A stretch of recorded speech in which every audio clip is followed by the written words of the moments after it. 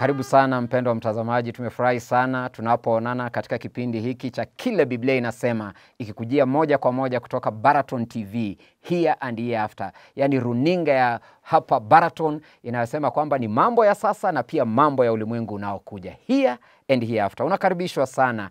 Hiki kipindi kimezungumzia mambo mengi na itaendelea kuzungumzia mambo mengi ambayo Biblia inasema Biblia inasema. Tumeangalia kile Biblia inasema kuhusu Biblia, kile Biblia inasema kuhusu Mungu, kile Biblia inasema kuhusu Mungu Baba, na siku ya leo tunataka kuangalia kile Biblia inasema kuhusu Mungu Mwana. Mungu Mwana. Kabla hatujaendelea, hebu na tuombe.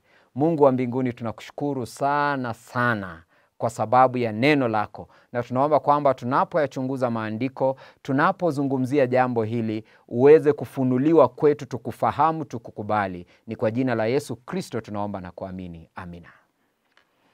Kile Biblia inasema kuhusu Mungu Mwana, kile Biblia inasema, maana una maoni yako, nina maoni yangu, na kuna yale Biblia inasema. Leo maoni yako weka pembeni, maoni yangu niweke pembeni, tuchunguze kile Biblia inasema kuhusu Mungu Mwana. Mungu Mwana sio mtumishi wa Mungu Baba na sio msimamizi wa Mungu Roho Mtakatifu. Wote wako sawa, wana umoja na wanabakia kwamba wako sawa milele na milele, tangia milele za kale na milele zinazokuja. Mungu Mwana anajulikana pia kama Yesu Kristo. Ingawa Yesu Kristo alizaliwa miaka elfu mbili iliyopita pale Bethlehemu, hiyo haikuwa ndiyo mwanzo wa Yesu Kristo, maana Biblia inafundisha kwamba alikuwepo hata kabla ya kuzaliwa pale Bethlehemu. Kule kuzaliwa kwa Yesu pale Bethlehemu miaka elfu mbili hivi iliyopita ndiyo inasherekewa na watu wengine kama Krismasi, na ni vizuri kusherekea kwamba Yesu alizaliwa, ingawa tunafahamu pia kwamba hiyo Krismasi Disemba tarehe 25 siyo tarehe halisi ya kuzaliwa kwa Yesu maana unaposoma tu Biblia bila kuwekelea hata uzito sana, unakuta kwamba tarehe ya kuzaliwa kwa Yesu haikaribii mwezi wa kumi na mbili, inaelekea miezi mingine ya mwanzo wa mwaka, na kwa hivyo hayana uhusiano. Lakini hayo tuyaweke pembeni, yatajadiliwa wakati mwingine. Kwa sasa tunasema kwamba kuzaliwa kwa Yesu Kristo pale Bethlehemu haikuwa mwanzo wa Yesu, alikuwepo tangia milele na hata milele zinazokuja. Yesu aliitwa Mungu Mwana, sio Mungu Mwana kwa sababu ana baba ama mwana. Aliitwa Mungu Mwana kwa sababu ya uokovu wetu, akawa ni mwana aliyetolewa ili afe msalabani kwa ajili ya dhambi zako na kwa ajili ya dhambi zangu. Si mwana kwa sababu ya kuwa na baba na, na, na, na mama. Hapana. Angalia kile Biblia inasema, na Biblia inasema mambo mazito sana kumuhusu Mungu Mwana, ili kuonyesha kwamba si kiumbe, ili kuonyesha kwamba si nabii tu, ili kuonyesha kwamba ni Mungu halisi. Twende pamoja katika kitabu cha Waibrania mlango wa kwanza mstari wa tano. Waibrania mlango wa kwanza mstari wa tano, Biblia inasema hivi: kwa maana alimwambia malaika yupi wakati wowote, ndiwe mwanangu, mimi leo nimekuzaa na tena mimi nitakuwa kwake baba na yeye atakuwa kwangu mwana. Unaona, anatumia hii lugha huyu mwandishi wa Ibrania, anasema kwamba ni malaika yupi ambaye Mungu alikuja akamwambia kwamba uh, Mungu alikuja akamwambia kwamba wewe ndiye mwanangu? Hakuna. Na malaika yupi Mungu alikuja, Mungu Baba alikuja akamwambia kwamba leo nimekuwa baba nawe umekuwa mwana? Kwa sababu ubaba ule wa Mungu na umwana ule wa Mungu ulianzia mahali, na ndio inasema kwamba akaja akasema, leo tofauti na jana nimekuwa baba, leo tofauti na jana umekuwa mwana. Maana ilifanyika katika wakati fulani wa historia. Na kwa nini ilifanyika katika wakati fulani wa historia? Ilifanyika ili wewe na mimi tumwelewe Mungu, tukubali uokovu wake na tupate kuokolewa kutokana na matatizo yetu na dhambi ambazo zinatukumba. Alafu unapoendelea kusoma mstari wa sita, anasema kwamba hata tena amletapo mzaliwa wa kwanza ulimwenguni asema, na wamsujudu malaika wote wa Mungu. Kwa nini Biblia inamuita Yesu mzaliwa wa kwanza? Ni mzaliwa wa kwanza kwa sababu alikuwa mzaliwa wa kwanza wa Maria, na alikuwa tena mzaliwa wa kwanza kwa sababu mzaliwa wa kwanza wa wanadamu ambaye Mungu alimuumba Adam alikosea, akala lile tunda, alianguka katika dhambi, na kwa hivyo Yesu akaja kurekebisha makosa yaliyosababishwa na yule mzaliwa wa kwanza Adamu. Yesu akawa ni Adamu wa pili ambaye ni mzaliwa wa kwanza anayerekebisha makosa, ili kwa makosa hayo kurekebika, wewe nami tuweze kupata wokovu na kwa hivyo ndio Biblia ina, inamuita kwamba mzaliwa wa kwanza. Inasema kwamba katika Waibrania mlango wa kwanza mstari wa sita hata tena amletapo mzaliwa wa kwanza ulimwenguni asema, na wamsujudu malaika wote wa Mungu, wamsujudu.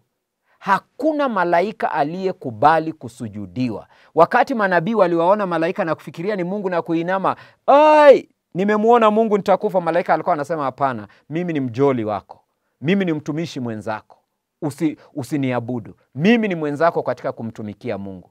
Lakini sasa anakuja huyu ambaye Mungu anaamuru, Mungu anaamuru na kusema kwamba na wamsujudu malaika wote wa mbinguni. Ni amri, mpende msipende, na aweze kusujudiwa.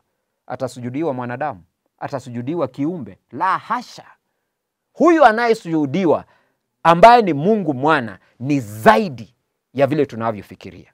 Mstari wa saba Biblia inasema hivi, na kwa habari za malaika asema, afanyaye malaika wake kuwa pepo na watumishi wake kuwa miali ya moto. Mstari wa nane anasema hivi, lakini kwa habari za mwana, Mungu mwana, lakini kwa habari za mwana asema hivi. Maana amesema katika mstari wa saba kwamba malaika ni watumishi tu, ni watumishi, wanamtumikia Mungu na wanawatumikia wanadamu. Lakini katika mstari wa nane anasema hivi, lakini kwa habari za mwana asema, kiti chako cha enzi Mungu ni cha milele na milele, na fimbo ya ufalme wako ni fimbo ya adili. Ai! Yaani huyu Mungu mwana, Mungu Baba anazungumza naye na kumuita kwamba ewe Mungu. Mungu Baba anamwita Mungu, na hamwiti tu Mungu, anamwambia kwamba kiti chako ni cha enzi, na viti vya enzi vinapewa tu watu walio katika kiwango cha Mungu. Namwambia kiti chako cha enzi, alafu aachii tu hapo, anasema ee Mungu, kiti chako cha enzi si cha siku chache ama miaka michache, ni cha milele na milele, na fimbo ya ufalme wako ni fimbo ya adili. Hakika mpendo wa mtazamaji, unapochunguza jambo hili unagundua kwamba kumbe kwa hakika Mungu mwana ni Mungu. Mungu mwana amekuwa Mungu tangu zamani, na alikuwa Mungu wakati fulani kwa sababu ya wokovu wetu. Mungu mwana anastahili kusujudiwa, kuabudiwa na malaika wote na wanadamu wote, hata wewe unayenitazama. Mungu mwana anapaswa kuitwa jina la Mungu, maana Mungu mwenyewe katika kitabu cha Waibrania anasema ee Mungu. Mungu Baba anamuita Mungu, huyu Mungu mwana anapaswa kuitwa Mungu, huyu Mungu mwana. Na Mungu mwana ana kiti cha enzi cha milele sio cha siku chache, na milele ni ya Mungu. Sisi tuna mwanzo, Mungu hana mwanzo na wala hana mwisho. Na kwa hivyo anasema kiti chako cha enzi cha milele, e Mungu. Mpendo wa mtazamaji, ningependa ujue kwamba kutokana na usomi wa Biblia ambao tumefanya siku ya leo, Mungu mwana ni Mungu, lakini Biblia pia inafundisha kwamba Mungu mwana ni muumbaji. Katika kitabu cha Yohana mlango wa kwanza mstari wa tatu Biblia inasema kwamba vitu vyote vilifanyika kwa huyo Mungu mwana, wala pasipo yeye hakikufanyika chochote kilichofanyika, kwamba pasipo Mungu mwana hakuna uumbaji ambao ungetokea. Mungu Baba alihusika katika uumbaji wa ulimwengu, lakini Mungu mwana pia alihusika, na pasipo yeye ulimwengu haungekuwepo leo jinsi ulivyo. Katika kitabu cha Yohana 15 mstari wa 15 Biblia inasema, siwaiti tena watumwa, kwa maana mtumwa hajui yatendalo bwana wake, lakini ninyi nimewaita rafiki, kwa kuwa yote niliyoyasikia kwa Baba yangu nimewaarifu. Nisikilize mpendo wa mtazamaji, Mungu mwana angependa kuwa rafiki yako. Aliwaambia wanafunzi wake kwamba sitawaita tena watumishi, maana mtumishi hajui mapenzi ya baba yake, hajui mapenzi ya bwana wake.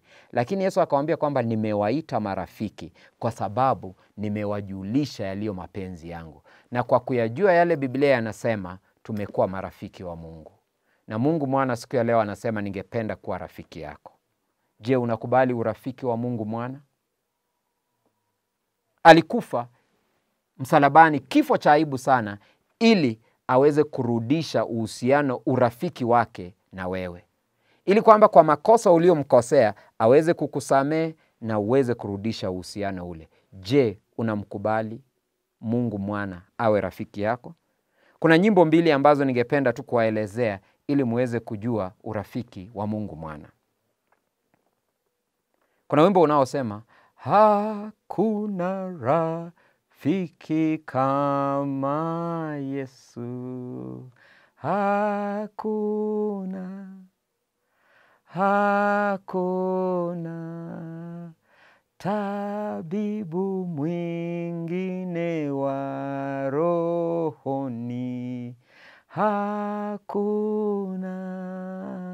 Hakuna.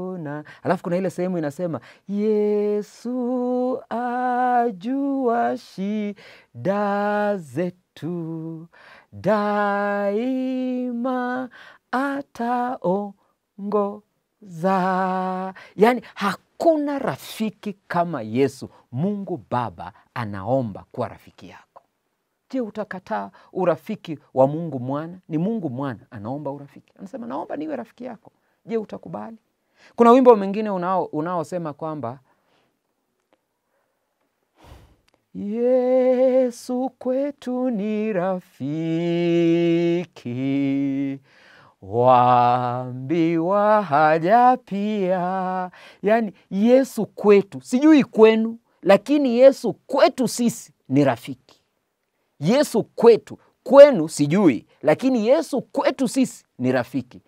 Huambiwa haja pia, na tukiomba kwa babaye maombi asikia.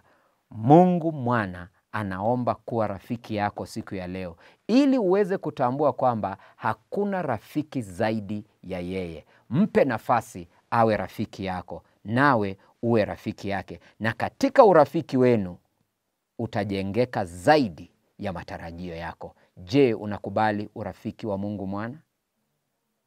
Na tuombe. Mungu wa mbinguni, tumekubali urafiki wa Mungu mwana.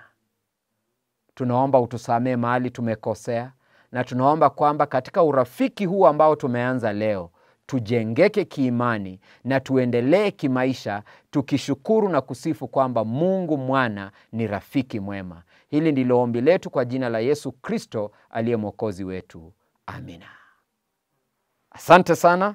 Hiki ni kipindi cha Kile Biblia Inasema, ikikujia moja kwa moja kutoka Baraton TV, here and hereafter.